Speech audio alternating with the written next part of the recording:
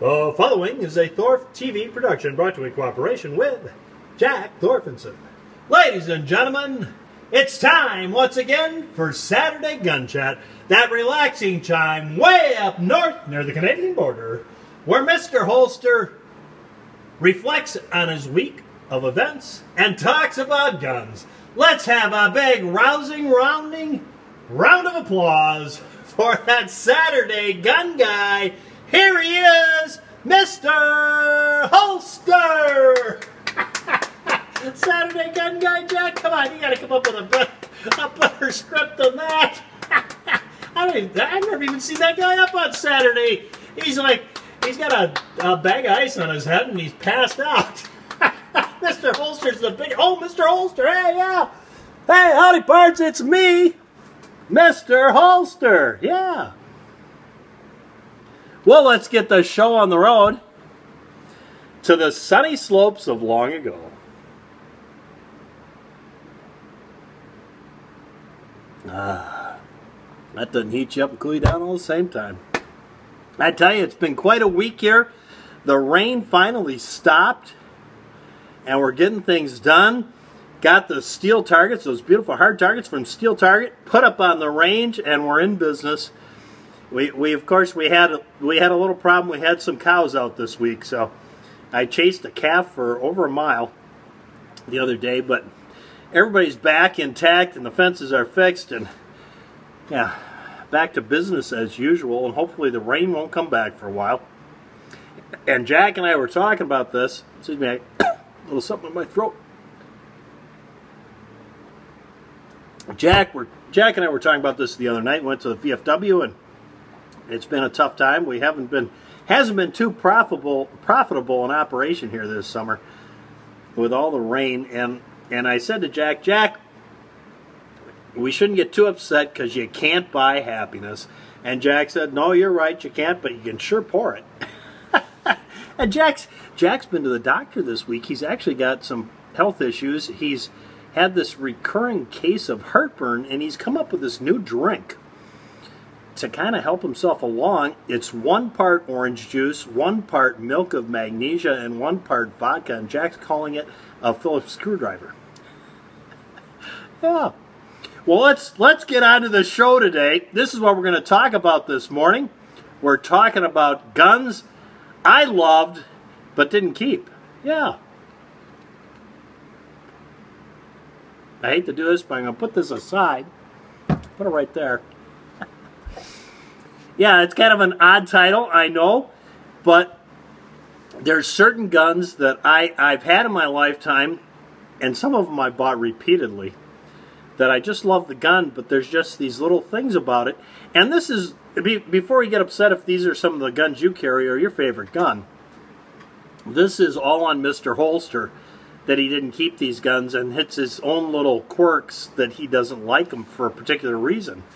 And it's kind of frustrating because I've had some that I've repeatedly used and bought and had for years and, and let them go and then eh, buy them back and and I still let them go for the same reason.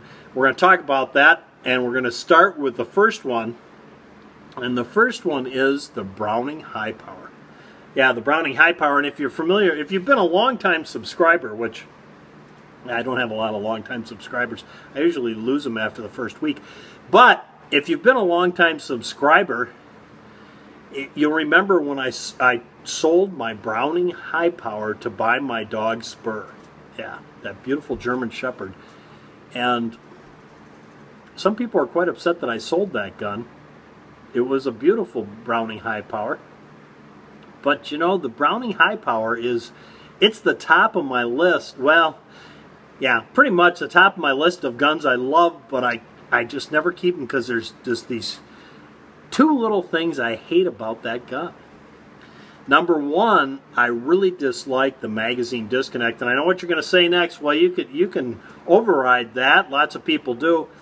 And Mr. Holster, he, he spent a lot of time working for attorneys and to to modify a safety put on by the manufacturer is just something he's never going to do. He doesn't want to assume all the liability, that product liability that is now a liability because the product was produced to be safe and I've made it unsafe and then somebody down the road you see what I'm saying? So I just I will not change a safety as much as I'd like to I won't. Number two I never ever liked the safety. And I'm sure there's probably aftermarket safeties I could replace it with that I'd like better but you go back to that magazine disconnect but to me, the safety always looks, it, it, looks really cheesy on it. It looks like somebody just screwed it on, you know? You compare it to a 1911, especially nowadays, the 1911s have, there's so many different safeties you can put on a 1911. So many different sizes and enhanced safeties. And you look at the, the safety on a high power, and I just, I just feel like if it looked if it was a 1911 safety i'd like it so much better. That's the same thing i think every time. And so it, but it really comes down to that magazine disconnect. It's it's a deal breaker for me. And i've owned five high powers in my lifetime and they aren't cheap guns. I buy them because i like it but then i just can't live with that and i let them go. Number two yeah there's only four here actually but yeah, there really is only four, guns. Number two is the CZ75. What a great gun. And this is what bothers me about it. I don't like, I really like each trigger pull to be the same. There's, there's the one exception I have, which would be the SIG 220. I, I let that slide because I love that gun so much. But the CZ75 is unique in that you can carry it cocked and locked. You don't have to have a long double action trigger pull and then a short on the second. You can set it up so each trigger pull is the same, a short single action trigger pull, and carry it cocked and locked like a 1911. And the upside to it is, when you do that, is if you have a round that doesn't go off because you got a light primer strike, you got a, the ability to just pull the trigger and have a second strike. Where in 1911 you're going to have to cock that hammer to have that second strike, you see? So you get a little advantage there. But what I can never get over on this is that that pivoting trigger versus a 1911 because as soon as I set it up for carrying it cocked and locked, I, I compare it to a 1911 and that straight clean, crisp trigger pull, although a CZ 75 is an exceptional trigger pull in single action. I'm not going to argue that. But that pivoting trigger, you see, that's my hangup. That's why these are really kind of hangups. I probably should have entitled this Guns I Love but Got Rid of because Mr. Holster has hangups. Pretty much. So I have owned so many CZ75s and I finally decided to sell it because I don't use it because of that. And then not long after that, I decided I want another one. I, they've gone through my hands, so many of them in my lifetime. That would be number two. Number three is a more current manufactured gun, and I just love this gun. Oh, I love this gun. The Springfield XDS 45 in a 4.0. Oh, that was so accurate and such a nice gun. But my hangup is I, I, really have no need to have a small gun. I carried a gun for I don't want to I don't even want to talk about how many decades, and I had no problem concealing a full service gun. So I don't I don't really see why I need it to be so small. I really would like to have a full grip frame on my gun, and to get that thing up to snuff with some decent amount of rounds in it, you got to have an extended mag just to get a six round magazine out of it, and then it then it's a full full grip frame. So it solves my problem, but it doesn't because I dropped that bag and then I got to change my finger my hand position on the grip frame to drop that mag. You see, that's my little hang up. I, I don't want to do that. I want to drop the mag and put a new one in without changing my my uh, position on the gun one bit. And I just couldn't let that go. And I'm I really agonized on that one because I love that gun. It was so accurate. In the four inch barrel, it is an exceptional firearm in accuracy. And I had to let it go because I just couldn't get past that not having a full grip frame.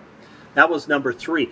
Now to number four, and number four I'm going to add three different guns that I own multiples of, and yeah, you can cry for me on this because it's it is painful. If I would never have sold them, I could sell them now for oh so much more money. Yes, Colt Pythons, Diamondbacks, and Detective models. Yeah, and I had them all and I just couldn't get past. And I've got my Ruger. I love this gun, this Ruger Match Champion that I got from Jack. of course, you know, it cost me a lot of money though. It cost me twenty-seven fifty to get my truck back when he lost it in that gambling spree. And you know, this, this is like a seven hundred dollar gun, and I paid twenty-seven fifty to get my truck back. So pretty much was out over two grand on the deal, but then again, I just love rubbing it Jack's nose in the fact that he lost his gun to me. Any rate, I love this gun. Very accurate, very nicely made. And here you'll see the, the cylinder release. You just push on it backwards and out it comes. And all those Smith & Wessons I carried over the years, the same thing. You pull them back like this. Very simple. You just there it goes. And the Colt, you have to literally push the magazine release backward this way. And I just, I just couldn't handle it. Yeah. Another one of my weaknesses there, it just, it, I just couldn't get into doing that versus I could do, I could do this one, which is a straight in. The, the Security 6, which is what I, I cut my teeth on, and of course the GP100, SP101, that's fine, but I just couldn't get into pulling that magazine or the cylinder release backward on the Colts. And and and I, you know, I love the Python and I let it go for that. And then I got another one because I loved it. Yeah, I let it go. For, it's, yeah, it's kind of painful when I think about it now on the Diamondbacks and and the detectives models. So there you go, guys. There's Saturday gun chat. We I've wasted 12 minutes and 20 seconds of your life just talking about Mr. Holster's quirks and the the beautiful great guns that he just he can't hang on to because these little things bother him. But to that I say, to each their own, and when you find that gun that you have no quirk with and you shoot it really well, embrace it and go out and buy two more. Yeah. Buy another one so you got a backup and another one so you got parts for the other two. Because you don't know, especially nowadays, what's going to happen. There you go, guys. There's my show. Guns I loved and, and I didn't keep. And I still, I miss them, but I have a little more, as I get older, I have a little more self-control, and when I see one in a gun shop, I don't buy it. It's easy on the Colts because now they're so expensive I can't afford them, which is painful to think of all the ones I had and just let go. But thanks for tuning in. Before I leave you, I'm having a contest. It's called the American Gunfighter 5000 sub giveaway, and all you got to do to get my contest today is number one, like this video. Number two, be a subscriber. Uh, I got them mixed up. Number three, just comment in the comments section. Tell me about the gun you you love, but and why you couldn't keep it. And tag it with Colt Python. Yeah, I, I feel sad about all those that slipped through my hands. Thanks for tuning in, guys. Till next time, from Jack and Mr. Holster go out and stay safe.